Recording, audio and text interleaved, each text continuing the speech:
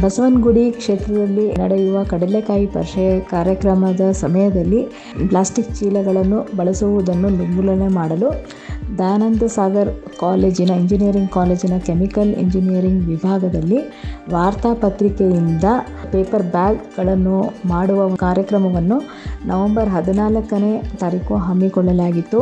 ಈ ಕಾರ್ಯಕ್ರಮದಲ್ಲಿ ನಮ್ಮ ಕೆಮಿಕಲ್ ವಿಭಾಗದ ವಿದ್ಯಾರ್ಥಿಗಳೆಲ್ಲರೂ ಭಾಗವಹಿಸಿ ಸುಮಾರು ಸಾವಿರದ ಹತ್ತರಷ್ಟು ಚೀಲಗಳನ್ನು ತಯಾರು ಮಾಡಿದ್ದಾರೆ. ಹಾಗೂ ಈ ಚೀಲಗಳನ್ನು ಪರೀಕ್ಷೆಯ ಸಮಯದಲ್ಲಿ ಸ್ಥಳಕ್ಕೆ ಬಂದು ಅಲ್ಲಿರುವ ವ್ಯಾಪಾರಿಗಳಿಗೆ ಇದನ್ನು ವಿತರಿಸಲಾಗುತ್ತದೆ. ಈ ಕಾರ್ಯಕ್ರಮವನ್ನು ನಮ್ಮ ಕೆಮಿಕಲ್ ವಿಭಾಗದಲ್ಲಿ ನಾವು ಹಮ್ಮಿಕೊಂಡಿದ್ದೇವೆ ಎಂದು ಹೇಳ, ಹೇಳಲು ನಾನು ಹೆಮ್ಮೆ ಪಡುತ್ತೇನೆ. Doctor Deepa ಹೆಚೆ assistant professor chemical engineering department.